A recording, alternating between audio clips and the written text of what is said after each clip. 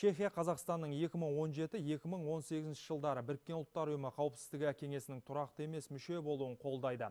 Бұл туралы елімізге ресми сапармен келген Чехия депутаттар палатасының вице-спикері Войтех Филипп жеткізді.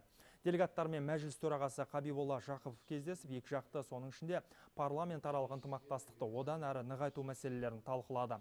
Мәжіліс төрағасы Чехияның Еуроодақта еліміздің маңызды сауда экономикалық және саяси әріптесі екенін айтты. Кездесу барысында тараптар энергетика, көлік, білім салаларындағы әсіресе денсаулық бағытындағы ынтымақтастыққа айрықша назар аударды.